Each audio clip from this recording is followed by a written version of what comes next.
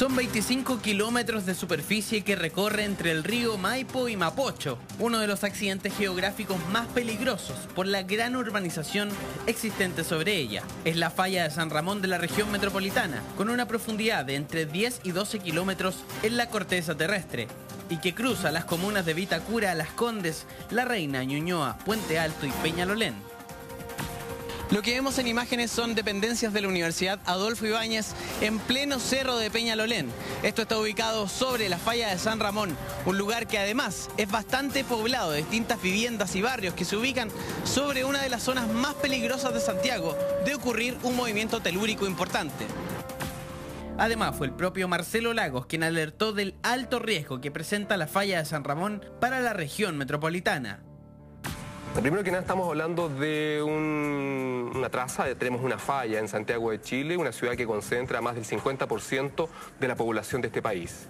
Por lo tanto, su activación potencial implica un riesgo, es un, es un potencial evento natural que puede ser extremo, o sea, puede haber un terremoto importante y tenemos asentamientos humanos sobre ella. Por lo tanto, hay población, hay personas y hay un fenómeno de la, de la naturaleza. Tenemos amenaza y tenemos vulnerabilidad y eso implica riesgo.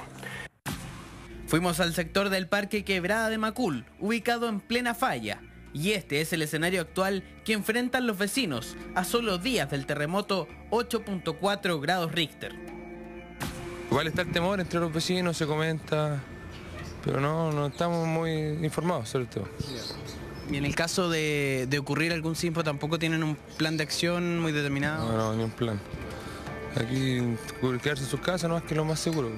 Ayer lo primero que el terremoto me acordé de eso. Sí. Y no, no hay nada que hacer porque no sabemos si la cosa se va a derrumbar hacia arriba, hacia abajo. Y, ¿Parte de la municipalidad vio algún trabajo preventivo, eh, informativo quizás de, de, lo peligroso del sector? No, nada, no, no sabe nada. Lo único que uno tiene es guardar cosas nomás, porque no sabéis para dónde vaya a arrancar en realidad una información, lo que se ha escuchado en la tele nomás, porque han hablado los geólogos, todo eso, sobre el tema de la, de la falla, pero así como que te dieran una información más concreta, porque aquí dime, es poco lo que puede hacer, pues. No tenéis como tú veis postes, tenéis torres de alta tensión, entonces como para... tampoco señalizado por el sector un plan de evacuación, uno sabe por dónde tiene que ir. No, pues aquí no hay nada de eso. ¿Qué efectos se producirán de ocurrir un sismo de gran intensidad con epicentro en algún punto de la falla? Y es una falla inversa, la cordillera sube, el otro bloque baja, el bloque hacia el interior, hacia, hacia la costa, y en ese caso podríamos tener un evento con magnitudes sobre 7. ¿Cuál es el tema? El tema ¿Sobre 7? Sí, fácilmente, bueno, de acuerdo, hay trabajo científico que confirma que han ocurrido desplazamientos miles de años atrás de ese orden de magnitud, y eso permite inferir más o menos el potencial, conociendo el largo, la profundidad y la magnitud del deslizamiento, tú puedes estimar más o menos una magnitud potencial de un futuro evento.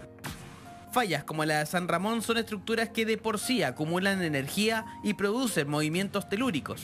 Por la misma razón, preocupa el gran desarrollo urbano en sus distintos sectores no tenemos una norma específica para construir sobre fallas activas. Tenemos una norma de diseño sismo resistente general, en tres, dividida en tres zonas, la, zona costera, la zona central y la zona cordillerana, pero no tenemos un anexo, digamos, cómo construimos para zonas cercanas a fallas. ¿Eso es una falencia? Que las ciudades se localizan, se desarrollan, pasan los siglos y ocupamos espacios de riesgo y con el tiempo el conocimiento nos permite entender las dinámicas de la naturaleza. El tema de fondo es que no queremos que la naturaleza nos sorprenda.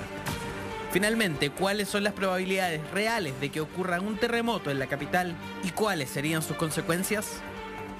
Si tenemos un pasado y un currículum de grandes terremotos, por ejemplo, como el de 1960, quiere decir que eso puede volver a ocurrir y eso hay que entenderlo y aceptarlo. Pero en la práctica, nadie está mirando la zona central de Chile. Nadie está mirando al sur del terremoto de 1995, en, el norte chico, la ruptura de 1922. Hay varios lugares que no han tenido actividad importante y que nadie está mirando. ¿Es ahí donde hay que poner ojo? Por supuesto, donde no ha ocurrido, viene. Esa es la, la premisa son los planteamientos del sismólogo Marcelo Lago respecto a un episodio que ojalá no tengamos que lamentar, pero para el cual aún no existen ni vías de evacuación, ni señalización, ni menos un plan de contingencia de ocurrir un terremoto en la falla de San Ramón.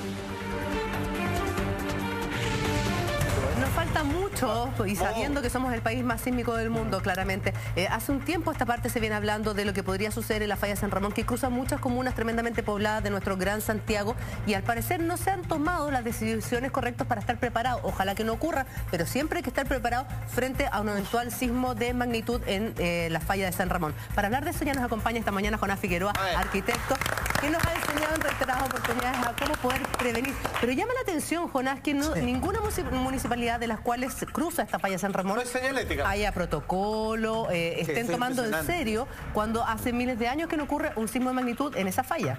Bueno, llama la atención, ¿no? Es decir, teniendo tanto antecedente y sabiendo que los terremotos son parte de nuestra cultura ya. Claro, claro. Los tsunamis, los terremotos, las inundaciones, los aluviones, los saludes, son parte de nuestra cultura. Hay que tener presente que Chile fue formado, fue construido por grandes movimientos sísmicos. Es decir, no se entiende de otra manera tener dos montañas, dos cordilleras, ¿no? y entre medio una, una estrecha... Entre medio del territorio. Exactamente. Ahora, si tú te das cuenta, si tú mueves un mantel de esta forma hacia el interior de la mesa, se va a formar un pliegue. Y esas son nuestras montañas, porque es el empuje de las placas hacia el interior del territorio. Claro, los terremotos son los arquitectos de la naturaleza. Exactamente. Sí, claro. Y hay que tener presente eso. Perdón, lo que pasa es que cuando revisamos las, palabras de los vecinos que dicen no sabemos qué hacer, no tenemos idea, no nos han informado. Hay gente que ni sabe eh, que vive sobre la falla Hay gente que no, sabe que está sobre la falla de San Ramón. ¿Hay algo que se puede hacer realmente? Por supuesto, claro que se puede hacer. ¿Qué se puede hacer? Quitarle de alguna manera el sesgo de emergencia posterior a los eventos, a los episodios que tiene la ONEMI y entregárselo a otra autoridad para que sea en los aspectos formativos, informativos, exactamente, que de alguna manera, por ejemplo, haya sendas demarcadas en los pavimentos no, no solamente estas señales que al final nadie termina viendo con respecto a los tsunamis. Porque hay muy, por ejemplo, mucho miedo, en la prevención. Exactamente, en la anticipación. Que Chile reacciona una vez que ya ocurrió el evento. Exactamente. Pero finalmente vemos que hoy día no existe nada, ningún protocolo. Exactamente. Entonces necesitamos no solamente estar preparados posterior al episodio, sino estar preparados, a, como bien señalas tú, a la anticipación. Y en ese sentido entonces las municipalidades deberían poner más ojo en dónde permiten construir. Porque hemos visto, y lo hemos hablado hace mucho tiempo, es lindo tener una casa en el volcán, pero tener una casa a las laderas del volcán es tremendamente peligroso. Lo mismo que sobre una falla que ha estado inactiva durante tanto tiempo. Muy bien, pero hay que tener presente que las autoridades forman parte de la sociedad. Eso empieza desde el inicio de la, etapa formativa del individuo, en el jardín infantil para que tú de alguna manera vayas ya llevando esa información en el cuerpo y cuando tengas 14, 15 años sepas cómo actuar en el territorio, no solamente la autoridad. Hay que saber que la autoridad, me lo comentaba la persona que me trajo, no siempre están en campaña y ellos muchas veces no se preocupan de esta cosa porque no entrega votos. Ya, pero está bien, o sea, yo entiendo, ok, ya la falla San Ramón cruza muchísimas comunas, cruza, eh, Vitacura, Las Condes, eh, La Reina, Peñalolén, eh, Puente Alto, La Florida, o sea, cruza muchas comunas Exactamente. Y, ya están construidos. Incluso hay hospitales dentro, de la falla hay una universidad. Sí, está, justamente en medio. ¿En qué estamos fallando ahora? En un plan de eh, un protocolo frente a un eventual sismo. Exactamente, que de alguna manera, sabiendo que en algún momento va a venir, porque ya no nos podemos hacer... Un problema de plazo, pareciera. Exactamente, ¿no? ya no nos podemos hacer los sordos ni los ciegos frente a estos temas. Claro. ¿no? Tú, tú, tú has trabajado mucho en el tema este de que los terremotos están en nuestra cultura y de alguna manera tenemos que no eh, saber que lo que en este caso, en el último episodio del 16 de septiembre, primó fue la organización, fue la, tranquilidad de la población. Es decir, sabemos que la población no puede asumir de alguna manera una cultura mm. de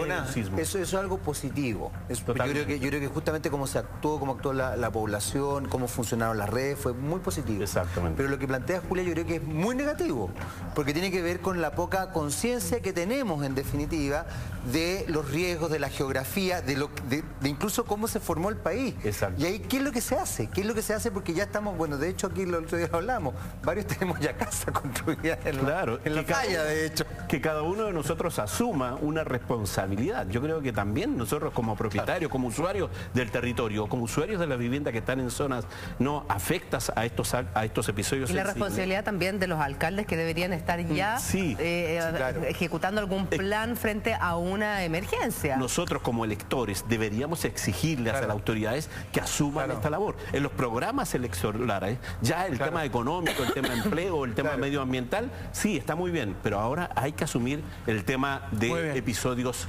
Absolutamente. Vamos, a seguir revisando aquello con Jonás. Eh, por